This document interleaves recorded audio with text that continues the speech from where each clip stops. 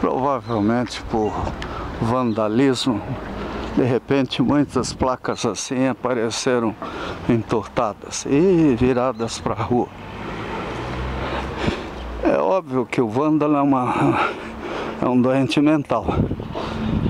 É uma pessoa que não tem cabeça, porque isso ali não é coisa de criança. É um adulto que fez isso.